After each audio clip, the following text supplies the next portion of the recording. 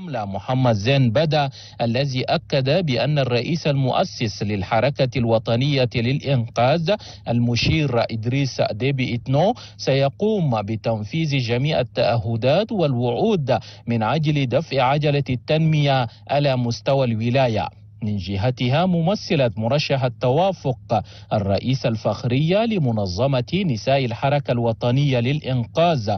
هندا ديبي إتنو في البدء شكرت سكان مايو كيبي غرب على حفاوة الاستقبال وكرم الضيافة مضيفة بأن هذا الحشد الكبير يضمن الفوز لصالح مرشح التوافق. حيث طلبت من المسجلين في القوائم الانتخابية سحب بطاقاتهم استعدادا لتاريخ الحادي عشر من أبريل.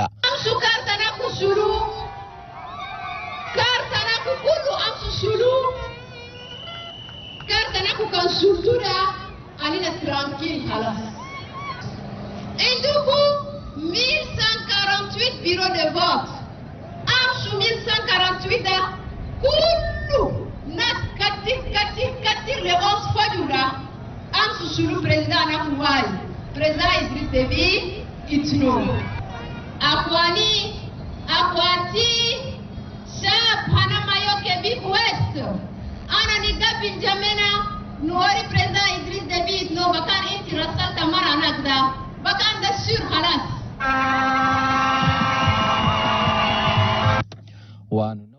إلى أن جولة وفد مرشح التوافق إلى المناطق الجنوبية ستستمر لتشمل العديد من الولايات وذلك تشجيعا للإدارة الولائية لحملة مرشح التوافق.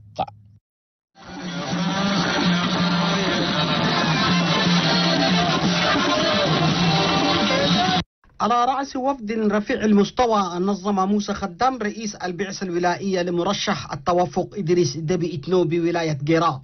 نظم لقاء جماهيريا في كل من بتكين ومنجلمن ودعا المناضلين إلى إسحاب بطاقة الانتخابات لأنها مهمة في التصويت لمرشح التوافق. وأكد أن المرشح إدريس ديبي إتنو هو الاختيار الأفضل لبناء تشاد. وطمعن موسى خدام المناضلين بأن مرشح التوافق سينفذ كل المشاريع الاجتماعية التي وعد بها المناضلين.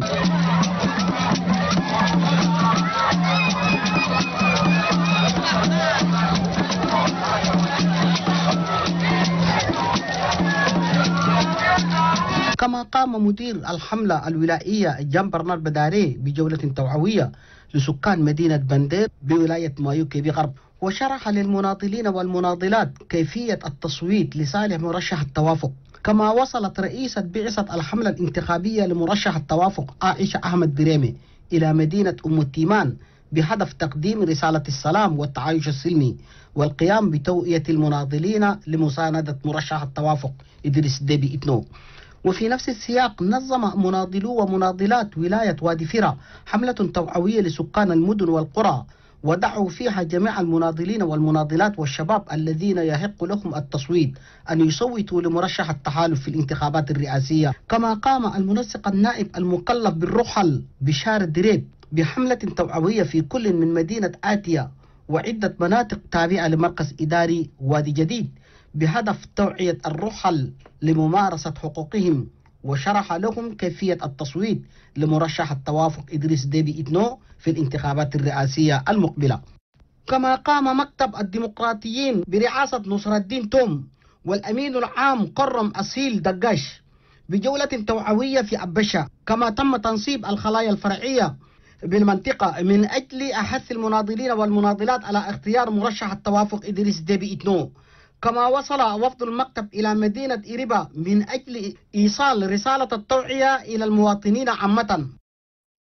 المحطة الخامسة لجولة وفد تجمع الديمقراطيين التشاديين إلى شرق البلاد. هي مدينة أم التيمان حاضرة ولاية السلامات التي خرج مناضلوها على بعد 15 كيلومترات من أجل استقبال الوفد برئاسة الرئيس الوطني باهيمي باتاجي ألبرت حيث اصطفى الرجال والشباب والنساء لاستقباله بالشارع الرئيسي لمدينة أم التيمان. وبميدان الحرية تجمع هؤلاء المناضلون من أجل المشاركة في هذا اللقاء الجماهيري.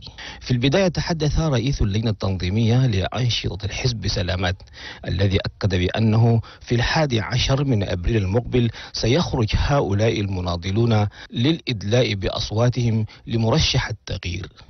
من جانبه رئيس حزب الار المتحالف محمد نور إسحاق قال إن اختيار حزبه للمشاركة في الحملة الانتخابية مع رئيس حزب الإرندتي الريفي فهو اختيار صائب. أظن دربا هسه ماشيين فوق ده ما يودينا يودينا يودينا توالي للهدف.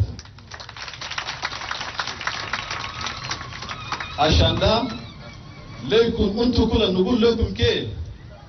أننا مضمونين بكونه ده يودينا فيه بقال ندوره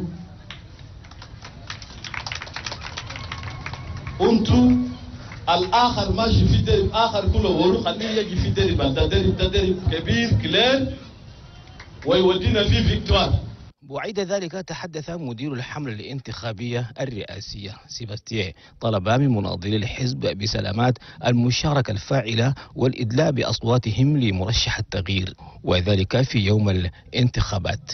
مؤكدا بأن باهيمي هو الرجل الذي سيجد حلولا لمشاكلهم. وأخيرا قدم الرئيس الوطني للحزب باهيم البير كلمة قال خلالها فإنه متأسف للأوضاع للسكان في كل المناطق التي زارها لا سيما سكان سلامات الذين هم في هذا العصر وهم بحاجة ماسة إلى الماء مضيفا أنه إذا تم اختياره رسميا اولا يبدأ بالإحتياجات الأساسية. كتوفير المياه والتعليم والصحة والاهتمام بشريحة الشباب والمرأة التي هي شريكة الإنسان في حياته. هذا وبعد ولاية السلامات وصل الوفد إلى مدينة بتكن حاضرة محافظة أبو طيور.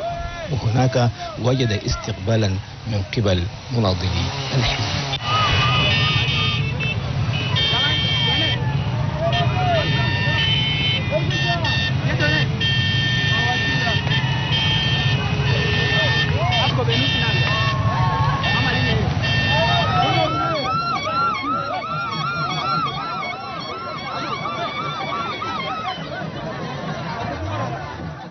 وفي اللقاء الجماهيري بمدينة بتكن الذي حضره المئات من المناضلين بمختلف شرائحهم وطبقاتهم. كان هناك خطابا واحدا فقط قدمه الرئيس الوطني باهمي باتاكي ألبير الذي يبدو من خلاله الفرحة التي لم يتوقعها. وقال إنه لديه برنامج سياسي شامل نحو التنمية لا سيما تنمية سكان هذه المدينة. وأوعد بالعديد من الإنجازات إذا اختير في الانتخابات المقبلة. مستطردا في حديثه بأن الوقت قد حان من أجل اختيار مرشحكم. كما قدم شكره لمناضلي حزب الإرندتيل ريفي بمدينة بتكن لخروجهم.